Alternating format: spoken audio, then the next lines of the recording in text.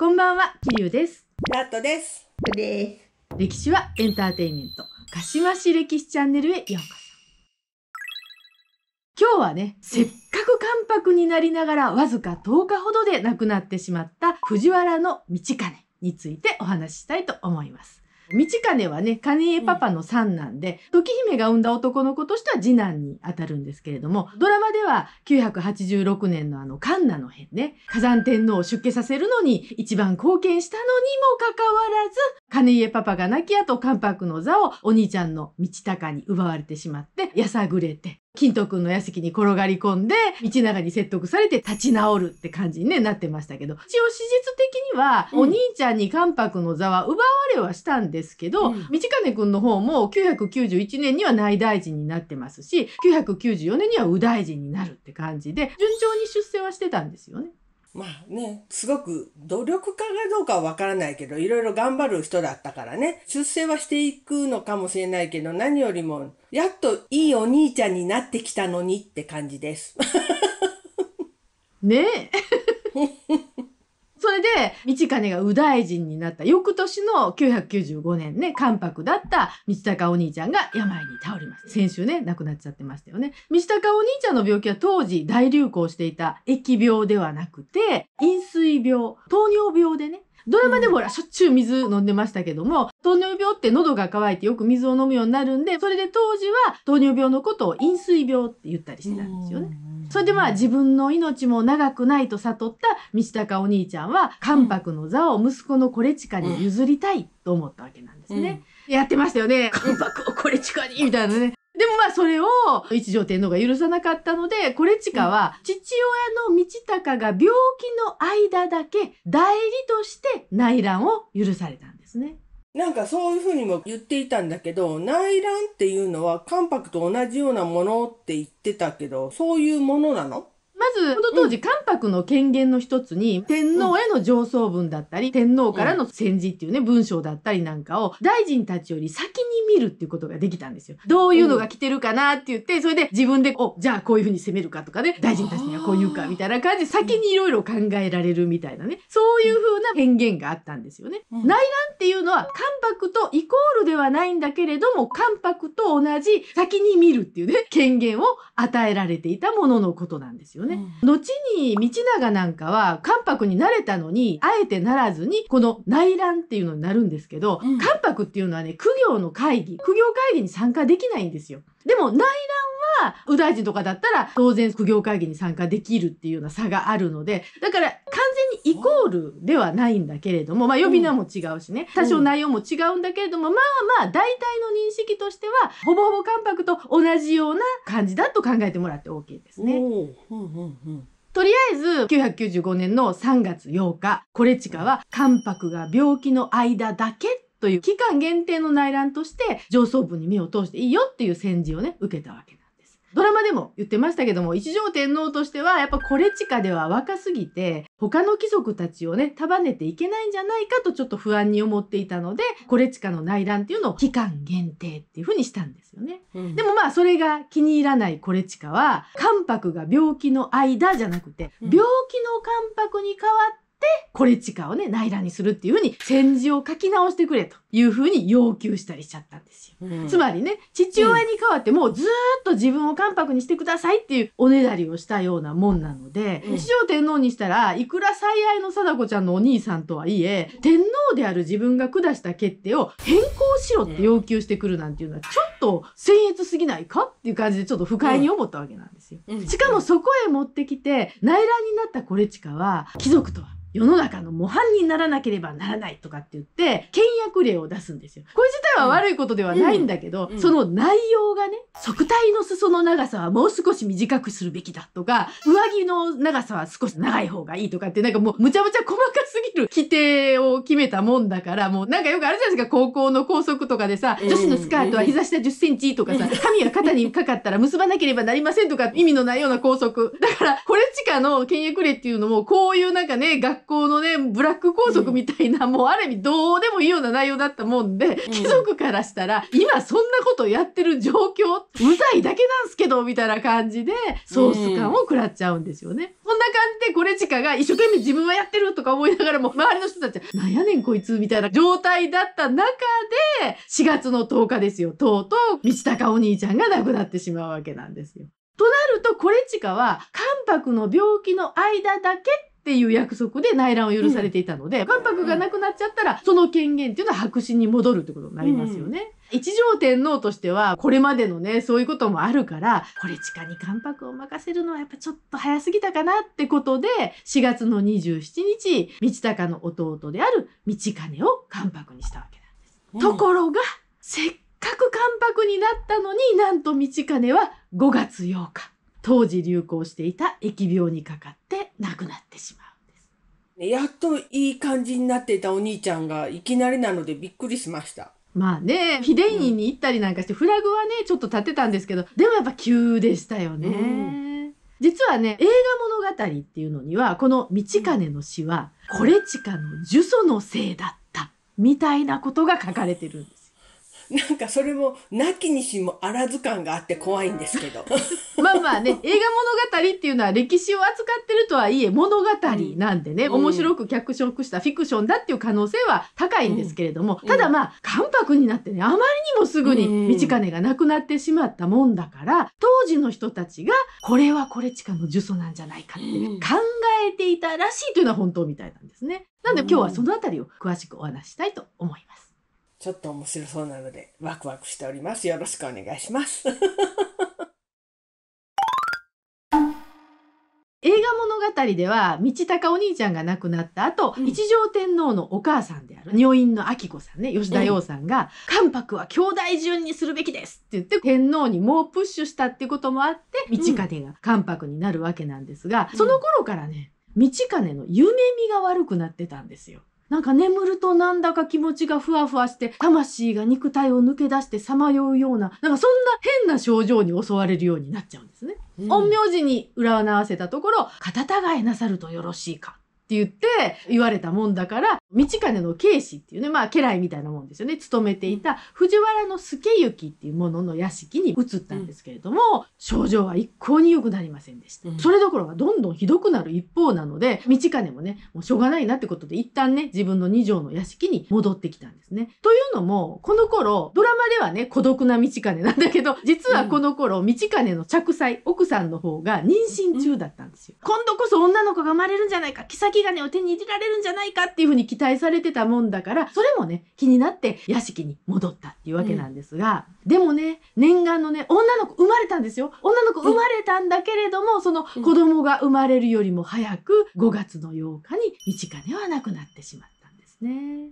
でもって映画物語では、これはコレチカの母方のおじいさん、高子さんのお父さんですね。うんその高階の成忠の祈祷のせいだと書いてある。この頃、高階の成忠っていう人は出家していてね、任意の神墓地っていうふうに呼ばれていたんですけど、この高階の成忠がコレチカを関白にするために特別な祈祷を行ったと書かれてあって、その流れで道兼の具合が悪くなって亡くなったと続いてくるんでね、これはもう高階の成忠の特別な祈祷っていうのは呪詛だったんだなっていうのがはっきりわかる書き方をしてるんですよね。後に聖徳の変ってこれ実際にね起こる政変なんですけど、うん。コレチカの罪状の一つに天皇しか行ってはいけない大言の法っていうのを行ったっていうのが挙げられるんですけど映画物語でははっきり大言の法をやったとは書いてないんですけれどもおそらくは大言の法っていうのがそもそも悪鬼とかね外敵とか恐ろしいものすごくうん。強大な敵を退散させる究極の秘法なんて言われてるすごい威力を持つ時法っていうふうに考えられていたので、うん。おそらくコレチカを関白にするためにおじいちゃんの高階の成忠が行って道兼を殺した絵も言えぬ法っていうふうに書かれてるんですけどこれが大言の法だったんじゃないかなっていうふうに書かれているっぽいんですよね。悪魔、悪い、何？外敵を退散させるための呪詛というか、祈祷なんでしょ？それを道兼にしたということは、道兼が悪い人っていうことになっちゃうの？ん？いやだってほらコレチカとかさおじいちゃんのさ成田にしたら、邪魔者なわけですよね。道金が関白でいるそ間はこいつが邪魔だ。こいつが関白の座に座ってる限りはコレチカは関白になれない。取り除かねばっていうことだからそれをいわゆるもう自分たちにとって邪魔者を取り除くっていうね。そして邪魔者を取り除くのに最も効力があるというね。だからやっちゃいけないのに効力があるってされてるからやっちゃったっていうような感じに書かれてるわけなんですよね。普通だったらなんか悪いものを呪わすみたいな感じだと思ってたから、あ、違うんだ。もう相手をもう悪とみなして。まあまあ、あの、なんて言うんでしょうね。当時、うん。天皇とかそういうものに向かってくるものは全て悪だからね。だから、それに対して悪鬼って言ってるけど、別にその、なんていうか、まあ、後にね、その、いわゆる外敵っていうのが来るんだけど、別に外敵さんにしたら悪い人じゃなくて自分たちが生きるために来てるだけなんだけど、でも日本からしたらそれはもう外敵だし悪鬼だし、だからこっちからしか見てないものの言い方そうそう。だからこれちかなんかもう自分たちの方から見たら、道金はもう邪魔者でしかないみたいなね、そういう見方。一方ね同じような歴史物語である大鏡ねいつもね、利用してる大鏡の方では、道金が藤原の助行の屋敷にいた時に関白の戦時がもたらされたんで、取り急ぎお礼を申し上げなきゃいけないって言って代理に参代したんですが、その時に道金はなんかちょっと具合は悪かったんだけどこれくらいのことでこんなおめでたいお礼の言状を中止するなんて逆に不吉なことになるからできないとかって言って、うん。牛車に乗って代理に出かけていったんですよ。うん。でもなぜだか病状が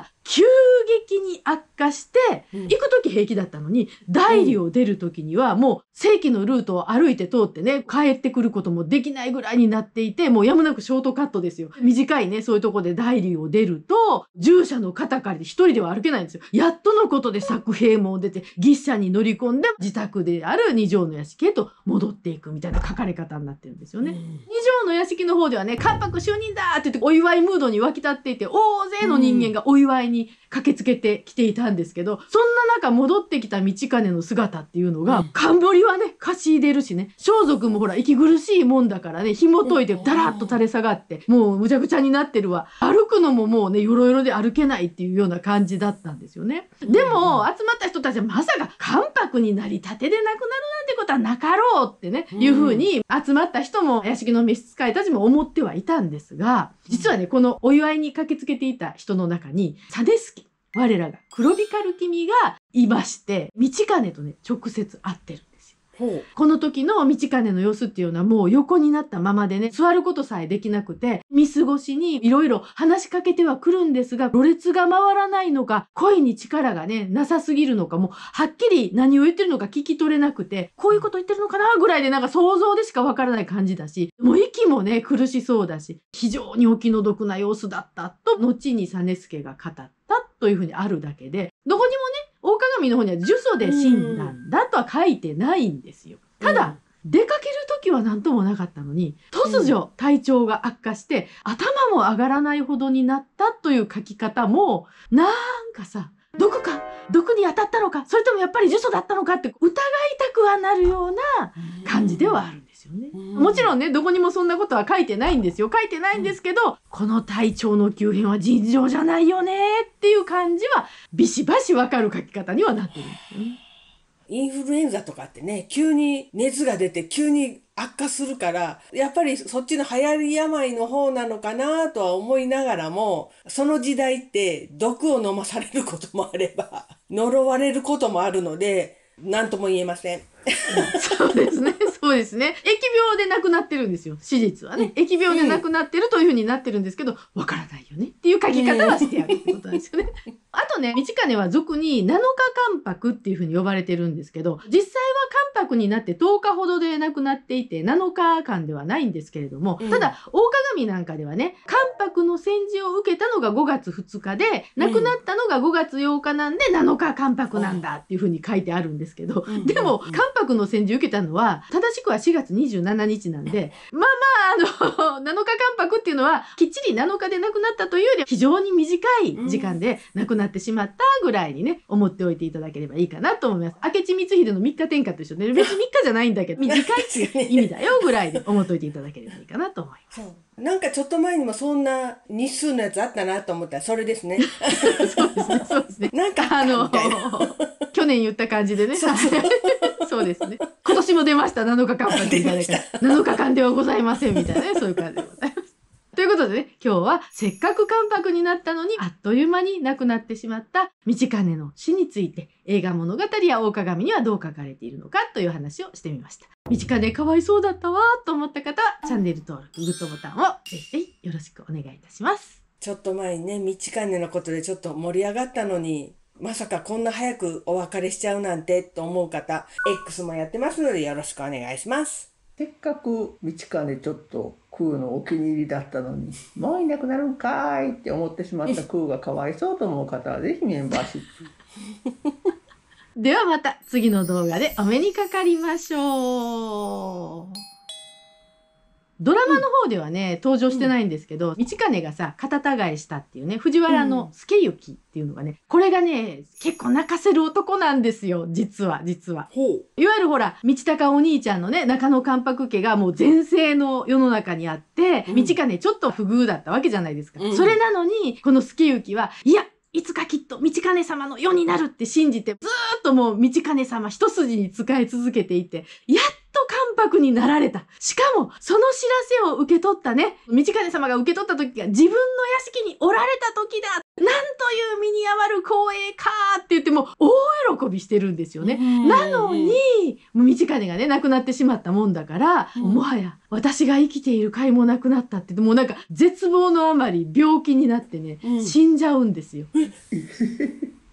そう、しかもその死に際の、もうほんと死のね、間際に、はあ、道金様の四十九日の法要に参加できないのだけが心残りだってね、言い残して、最後の最後まで道金推しっていうので、もう人生の全てをね、かけてて、ね、言ってもいいぐらいの人だったんですよね。うん。この人が道金が亡くなったっていうのを聞いた時に読んだ和歌があって、うん。夢ならで、またも見るべき君ならば、ねらるるようも嘆かざらましい。って言って、いわゆるその、道金が亡くなってからね、助行はもうずーっとね、道金の夢を見ていたらしいんですよ。夢の中で会ってたらしいんですよ。だから夢ならでっていうのは、つまり、うん夢じゃなくて、現実の世界で我が君、道金様にお会いできるんだったらもう私は二度と眠れなくなっても嘆きなどしないんだけどなーっていう意味で、もうだから今は寝てる夢の中でしか会えないけど、本当の道金様にもう一度目にかかれるんなら寝ないでいい、もう生涯起きててもいい、寝られなくなってもいい。っていうぐらいの和歌を読んで、しかも後追いのように病気でね、亡くなって死んでいるというね、もうどんだけ道金が好きだったんだよっていうのがね、これも映画も物語に書かれているので、割とあの、助行いいなって思ってるんですよね。へえ。さっき病気で亡くなったんだと、あ、そうかと思ったけど、四十九日に間に合わないっていうことは、そう、もう1ヶ月以内に亡くなっちゃゃったの。ねえ。どんだけラブだったんだろうかっていう。そう、だからもう、推しが死んでね、ももうそれで全てやる気が何もかもやる気を失っちゃったんでしょうね。はあ、もう、私生きててもしょうがないってなっちゃったみたいですね。それか、ね、疫病で亡くなってるんで、疫病が移ってたのかもしれないんですけど。まあ、わからんよ、わからん。当時、疫病で亡くなってる人が多いからね、こんなに急に死んでるってことは、まあ、疫病の可能性もあるんだけれども、うん映画物語はそこを言ったらもう、道金様が生きていない世の中に、私は生きていてもしょうがないってね、いう風に美しい美談として書いているっていうことなので、私は美談として信じております。はい。私もそっち推しで、そこにも素敵なラブがあったんですね。彼も出てきてほしかったな。一人ぼっち感を出すためにね、出てそうね。だから本当はいろんな人にそうやってね思われてたし、うん割とそういう感じでの家来衆を大事にした人ではあるんですよね、身近にね。うんだからすごくそういう感じでは慕われてて、っていう風な書かれ方もしてるので、だから本当にドラマのように孤独でね、誰もいなくってっていう感じではないんですよね。あ、そうだ。うんちなみに、うん。道金が亡くなった後に生まれた、もういよいよ待ってたね、着妻さんの娘っていうのが、うん。これが前にもちょっと話したけど、後に実助の津屋子女王が亡くなった後の、後添いにどうですか？って言ったんだけど、うん。断られちゃったっていうう、ん。その娘さんで、後には道長の娘の女房になって言ったらやっぱお父さんがいなくなってかつては関白だったとはいえ短かったしいなくなってしまったので後見がいなくなってしまったので働きに出ざるを得ない。道長にね言ったら自分の娘の箔つけるために女房になってくれって言われたらちょっと断れないという形でまあそういうお勤めに出るっていう感じにはなってる。だからちょっと娘さんはうん。正妻さんの方の娘さんは気の毒な感じにはなるんですけどね。一部の視聴者さんがすっごいなんかもやっとしているであろうことを質問したいと思います。月行くんと道金くんは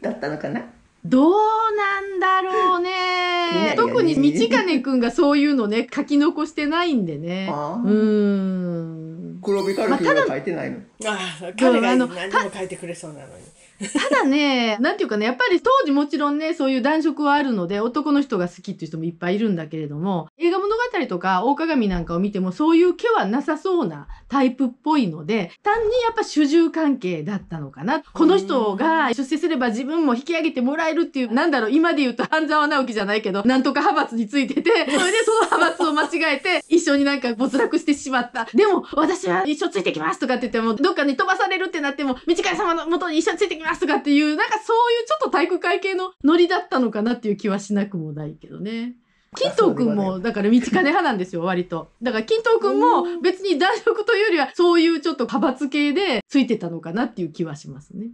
だそうです。残念でした。いやいや、わからんよ。わからんけどね。別に記録がないだけで、それはわからないけれども。なんとなく道金については、残ってるものからすると、男色系で付き合ったというよりは、結構強い絆で結ばれた主従みたいな感じなのかな。